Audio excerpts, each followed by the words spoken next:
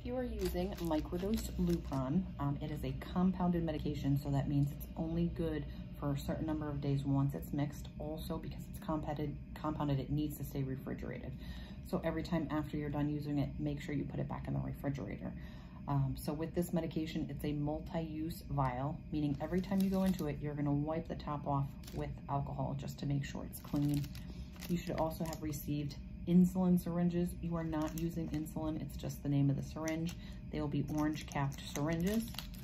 What you are going to do is take this out. You're gonna pull the orange cap off. You're gonna take this syringe, put it right into the vial, turn it upside down. Your dose for microdose Lupron is 20 units. So on your syringe, it'll either say 20 or it'll say 0.2. Same difference, okay? All you're gonna do is pull the plunger down so that it's past the 20 or the 0.2. It will initially fill with micro bubbles and air, so you just want that to fill. Um, once it's all filled, give it a little tick, and then you're just gonna push up the plunger so that the black line is right at the 20 or the 0.2, okay? Once you have this medication, you're going to take your alcohol, clean your skin, make sure it's dry. You don't want to stick a needle through skin that's wet with alcohol.